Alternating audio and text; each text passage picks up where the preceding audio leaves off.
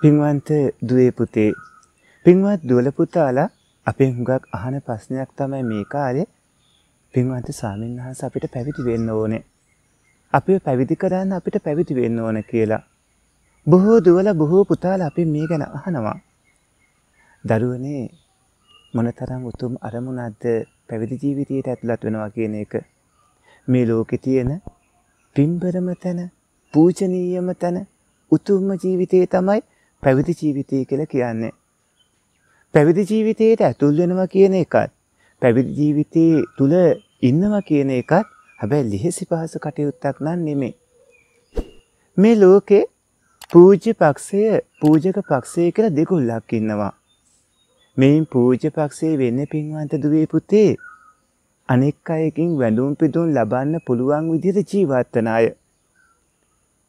අනිත් අයට පුළුවන්කම තියෙන්න ඕන තමන්ගේ ආයුෂ වැඩි කරගන්න, වර්ණේ වැඩි කරගන්න, සැපේ බලේ වැඩි කරගන්න, ධන දාන්න ලබා ගන්න, භවභෝග සම්පත් ලබා ගන්න, දෙලොව දියුණුව සලස ගන්න.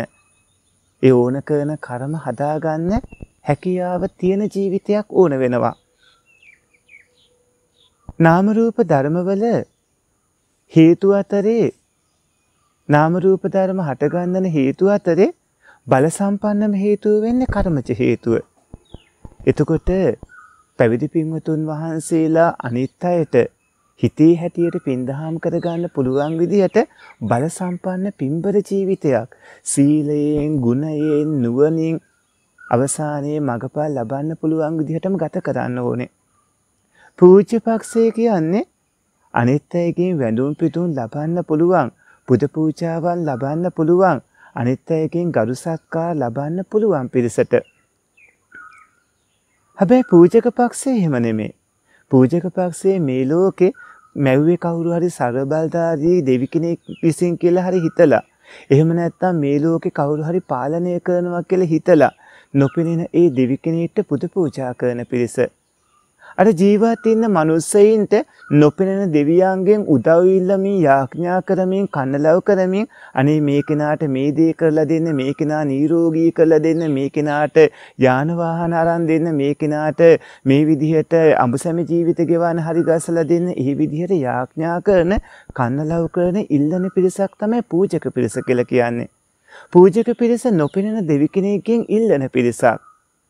හැබැයි පූජ්‍ය පක්ෂය බැඳුම් පිදුම් ගරු සත්කාර කරන්න පුළුවන් විදිහට ජීවිතේ හැඩගස්වාගෙන ඉන්න. එහෙම වැඳුම් පිදුම් ගරු සත්කාර පුද පූජා පවත්වද්දී ඒ පවත්වපු උදවියට ආයුෂ වාන සැබ්බල ප්‍රඥා ඉදුම් හිටින් උන් හිටිතැන් ඔක්කොම ලැබෙන විදිහට ජීවිතේ සකස් කරගෙන ඉන්න පින්බර පිරිසක්. නාම රූප ධර්මවල කර්මජ හේතුව බලවත් හින්දා පූජ්‍ය උතුමන්ට ඒ කියන්නේ බිස්සුන් වහන්සේලාට හෝ බිස්සුණීන් වහන්සේලාට අපුපස්ථාන කරන අයට වුණත් බොහෝ ප්‍රතිඵල ගන්න පුළුවන් විදිහට ජීවත් වෙන්න ඕන.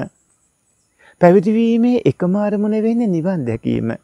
සබ්බ දුක්ඛ නිස්සාරණ නිබ්බාන සච්චි කරණත්තාය ඉමං කාසාවං ගහෙත්වා පබ්බාජේත මම්බන්ති අනුකම්පං උපාදාය. පැවිදි වෙන්නේ ඉල්ලන්නේ සියලු දුක් නැසමින් චතුරාර්ය සත්‍ය බෝධ ඥානයෙන් කෙලසුන් අසන්නට මාව පැවිදි කරන්න කියලා ඉල්ලලා. පින්වන්ත දුවේ පුතේ පැවිදි වෙන්නට හැමෝටම බෑ. පූජක පිරිසක් වෙන්න නම් බොහෝ දෙනාට පුළුවන්. හැබැයි බිස්සුන් වහන්සේලා බිස්සුණීන් වහන්සේලා විදිහට ඒ තියෙන කෝටියා සංවර සීලේ ඒ විදිහටම රකමින් කටයුතු කරන්න හැමෝටම බෑ. ඒකට පෙර පින් බලේ ඕනමයි. සුළු මොහොතක් හෝ පැවිදි වෙලා ඉන්න නම් පෙර පින්බලය ඕන වෙනවා. පින්වන්ත දුවේ පුතේ. පැවිදි වෙන්න එපා ඔය දරුවෝ දේශපාලනය කරන අදහසින්. බිස්සුන් වහන්සේලාට දේශපාලනය කිරීම තහනම්.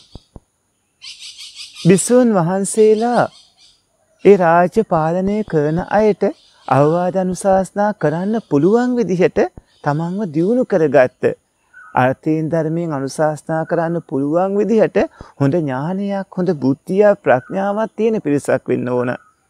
දේශපාලනය කිරීම බිස්සුන් වහන්සේලා නොකළ යුතුයි. වෙරහෙන දාම් කරන්නත් පැවිදි වෙන්න එපා. පින්වන්ත දුවේ පුතේ මොනම හේතුවකටවත් පැවිදි වුණාට පස්සේ වෙළඳාම් කරන්න යාන වාහන දීපල ඊට කඩන් වෙළඳ ගන්දෙනු කරුවෙක් වෙන්න ඒ වගේම ගොවිතැන් ආදිය කරන්න කටයුතු කරන්න එපා ඒ වගේම පින්වන්ත දුවේ පුතේ ජෝතිෂ්‍ය අනවින කොඩිවින කරන්න අනිත් අයගේ ජීවිත නසන අදහසින් පැවිදි වෙන්නත් හොඳ නැහැ. අම්මල තාත්තලට හිදවන්න පලිගන්න හිතාගෙන පැවිදි වෙන්නත් හොඳ නැහැ. හැබැයි සමහර කට්ටිය ඉන්නවා පෞල් ජීවිතය ඇතුලේ ප්‍රශ්නයක් වුණු ගමන් ගෙදරින් පැනලා යනවා ආරාමයට. නැත්තම් පන්සලකට. ඊට පස්සේ අර ගෙදර ඉන්න ස්වාමියාගෙන් හරි භාර්යාවගෙන් හරි පලිගන්න හිතාගෙන ටික කාලයක් පැවිදි වෙනවා. හැබැයි එහෙම පැවිදි වෙන පැවිදි ජීවිත සාර්ථක වෙන්නේ ඒකට හේතුව තමයි ඒ ඇත්තෝ නාම රූප ධර්ම ගැන අවබෝධයෙන් මේ සසරින් එගොඩ වෙන්න හිතාගෙන නෙමෙයි පැවිදි වෙන්නේ. පලිගන්න හිතාගෙන පැවිදි වෙලා තියෙන්නේ. ඒ වගේම පින්වන්ත දුවේ පුතේ මොනම හේතුවකටවත් විවිධාකාර විදිහට සත්තුන්ට හිරිහැර කරන්න, කරදර කරන්න, දීපලීට කඩන් තණ්හාවෙන් පොදි බැඳ ගන්න, රැස් කර ගන්න පැවිදි වෙන්න හොඳ නැහැ. පැවිදි වෙන්න ඕන සසරින් එතර වීමම අරමුණු කරගෙන. එහෙම පැවිදි වුණු පින්වතුන් වහන්සේලා සාමනීර දස්සීලී වගේම උපසම්පදා සීලියත් මනවින් ආරක්ෂා කරගන්න ඕනේ. ගත කරන්න ඕන කාලසටහනක් තියෙනවා. උදෑසන ඉඳලා රාත්‍රිය දක්වා ගෙවන්න ඕන විදිහක් තියෙනවා. පින්වන්ත දරුවනේ උදේ 4 ඉඳන් රාත්‍රිය දක්වාම ගත කළ යුතු විදිහක් වගේම සතර සතිපට්ඨාන සිහියෙන් කටයුතු කරන්නත් ඕනේ.